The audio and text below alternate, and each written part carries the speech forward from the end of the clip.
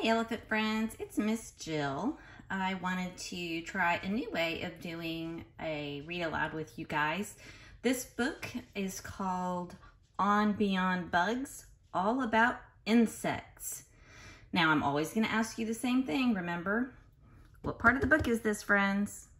It is the cover or the front of the book. If you flip it over, what do we have? We have the back of the book. And then we have our spine. I hope everybody said spine. And I hope everybody can tell me who writes the words. The author. The author writes the words. And who draws the pictures? The illustrator. The illustrator draws the pictures. Now, right here, it'll tell you. This book was written by Tish Rabe, and it was illustrated by Aristides Ruiz. I may have not said that name correctly, but I tried. And I'm sure you guys recognize who this is. Who is that, friends? Is that the cat in the hat? It sure is. And I thought this would be a great book for us to read because we are studying insects.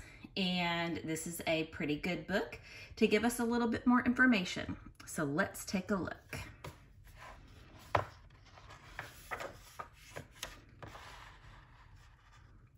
Everybody can see that pretty well.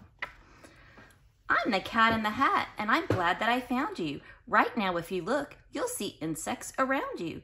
They live in the water, the earth, and the sky. Just wait, and you'll soon see an insect go by. There are millions of them. I will show some to you. Your mother will not mind at all if I do.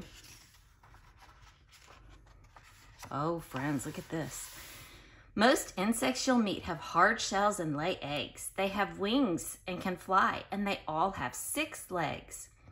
Spiders aren't insect insects. This news couldn't wait. Instead of six legs, every spider has eight. And we talked about that a little bit yesterday. One, two, three, four, five, six, seven, eight. Nope, not an insect. This big guy right here is a praying mantis. And I do see six legs. One, two, three, four, five, six. He also has these little things right here. Do you guys remember that those are antenna. And then he also has three body parts. He has his head, he has his thorax, and he has his abdomen. And here we have a butterfly, and I know you all know this is a ladybug. Here is a grasshopper, and here is a black ant. See what else we've got going on the next page.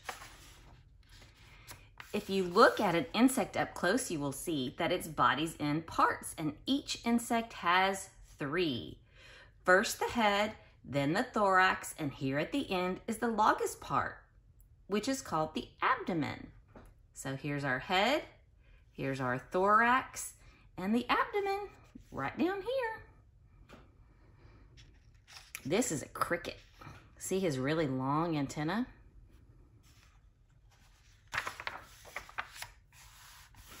Insects cannot see all the things that surround them, so they each have two feelers to touch what's around them.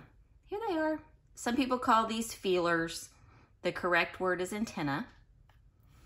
An insect has feelers on top of its head. Some look a lot like a thin piece of thread, while others look much more like feathers instead. And then look, thing one and thing two are down here and they say, we wish we had feelers, but we don't have any. You can also call feelers by this name, antennae.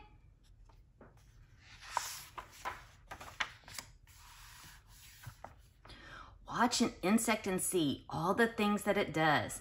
Some can swim, jump, or crawl. This is a diving beetle. It's a flea that is on our dogs and kitties. This is a pipe vine caterpillar. And he only has six legs. One, two, three, four, five, six. That's pretty cool. I did not know that that caterpillar could be an insect. Others chirp. Others flash or buzz. So this cricket is rubbing his legs together to make a chirping sound. This is a firefly, or also called a lightning bug in some places around the country. And would a bumblebee say? Buzz. Birds and frogs look for insects in order to eat them, so insects work hard to make sure they don't meet them. Some, like this wasp, have bright colors that say, Don't come near me, I'll sting you, so just stay away. This moth's wings are colored to look like the tree it is resting upon so that no one can see it. This is called the underwing moth.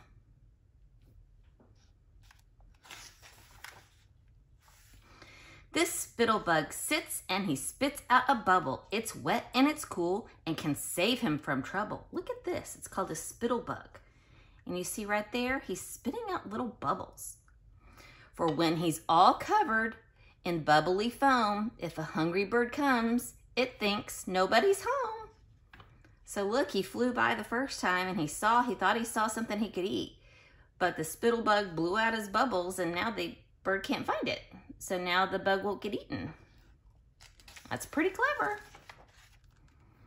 Here is a riddle I learned from my mother. How's a skunk and a ladybug like one another?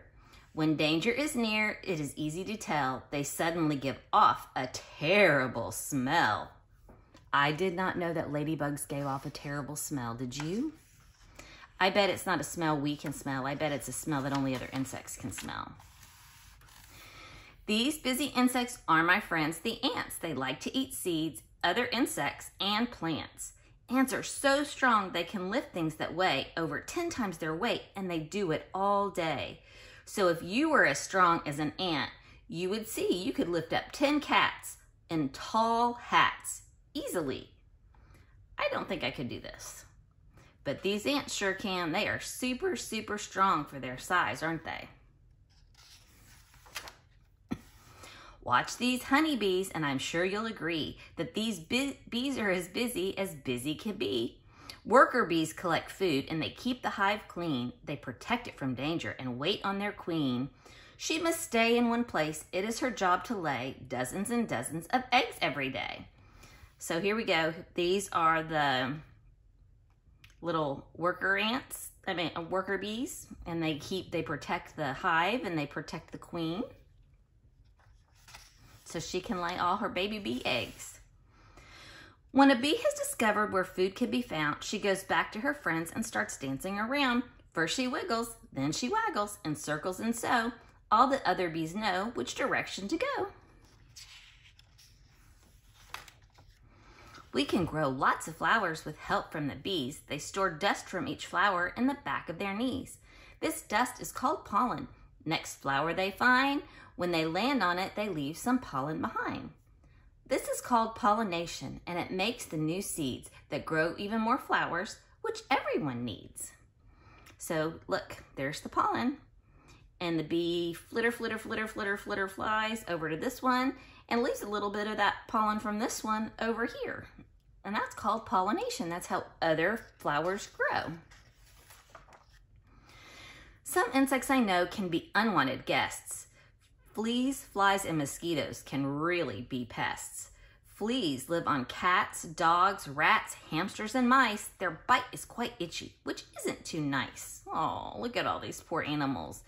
Mean old fleas and flies and mosquitoes. But they're wonderful jumpers. Why, if we were fleas, we'd jump over a house and we'd do it with ease. That's how these guys get to go from one animal to the other because they're really good jumpers. Do you guys think you could jump over a house? Have you ever wondered why does a fly buzz? Well, it beats its wings fast, and each time that it does, its wings make a sound you can hear in your ear. And this sound lets you know there's a fly flying near.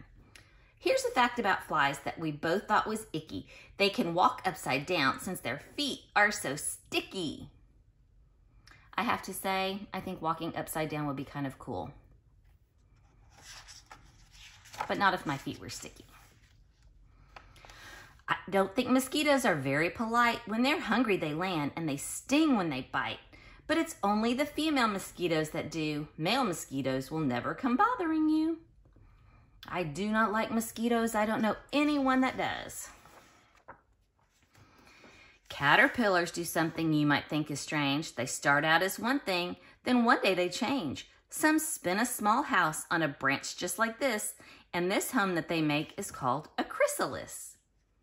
So here, the caterpillars inside here, they spun a little tiny house around themselves, and this is called a chrysalis. Can you guys try to practice the word chrysalis? Chrysalis. If you watch it, you'll see when a few weeks go by, it turns into a beautiful new butterfly. Thing one and thing two have a quick fact for us. It says, here's a quick fact that we both thought was neat. Butterflies can taste their food with their feet. How interesting is that? I do not suggest you all put your feet in your food. I do not think your moms and dads would like that. On warm summer evenings, you may see the light of fireflies flashing off on in the night. They are like tiny flashlights that float in the sky, and if you want to catch them, it's all right to try. Use a jar with a lid, watch them glimmer and glow, then open up the jar and let them all go. They look like little tiny stars flying around. All day and all night on the ground in the air, insects are moving around everywhere. It's important for us to keep learning about them. The world that we know couldn't go on without them. The butterfly, ladybug, ant, and the bee make everything better for you and for me. The end, my friends. I hope you enjoyed reading on Beyond Bugs, all about insects. And I will see you all next time. Bye.